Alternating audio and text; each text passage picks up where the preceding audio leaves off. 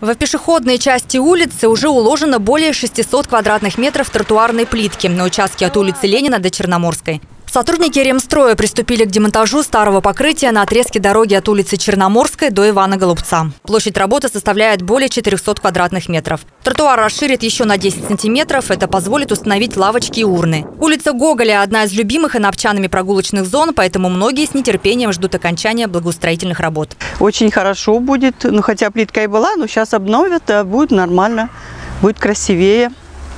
Вот, деревья нужно подпилить чтобы было и скамеечки поставить не против, чтобы мы вышли, отдохнули с внучками, погуляли. Уютная, она тихая, спокойная. Бульварчик такой замечательный. Сейчас отремонтируют, вообще будет, будет очень хорошо.